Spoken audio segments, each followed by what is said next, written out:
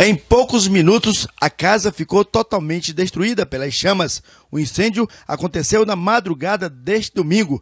Quando o corpo de bombeiros chegou no local, a residência já estava destruída. Os vizinhos ainda tentaram apagar, mas não teve jeito. Rapaz, foi muito, foi muito ligeiro esse fogo. A gente estava dentro de casa aqui, quando a gente saiu, a gente já se deparou com fogo já em cima mesmo. O menino arrebentou, o vizinho aqui, nós entramos para dentro, mas já tava, o interior do carro estava todo queimado. Aí não tinha o que nós fazer, não sei. Ele mesmo me puxou para trás, para mim não. A tentativa da gente era de ajudar, né? Mas infelizmente não conseguimos fazer nada. Rapaz, começou ligeiro, assim, de uma hora para outra, assim, 15, min... 15 segundos, queimou tudo mesmo. Começou de dentro para fora mesmo.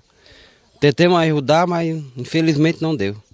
Arrebentei a janela, porta, uma vizinha aqui, mas não deu nada certo. Tudo que tinha dentro queimou? Queimou tudo, tudo. Até a casa, a casa do vizinho também ia queimar, a caixa lá tá. Pode ver lá que e essa família ficou só com a roupa do corpo, queimou tudo. Eles estavam em um velório em Plácido de Castro e foram informados na madrugada deste domingo, exatamente no momento que estava acontecendo o incêndio. Familiares, as pessoas, amigos aqui, os vizinhos, ainda tentaram aí é, socorrer, é, tirar as coisas, mas não conseguiram. Queimou tudo, ficou só com a roupa do corpo. Tudo, tudo, tudo. Não ficou nada, nada, nada. Que minhas coisas queimaram tudo. Tudo, tudo. Relata pra gente o que é que tinha realmente dentro da casa de vocês.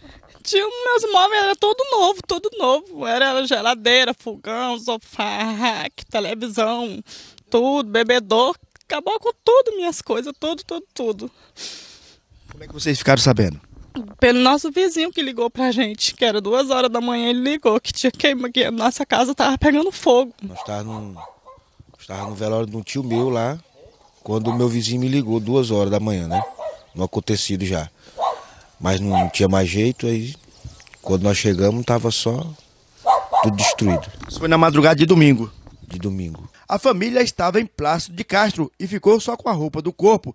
Tudo que tinha dentro da casa foi queimado.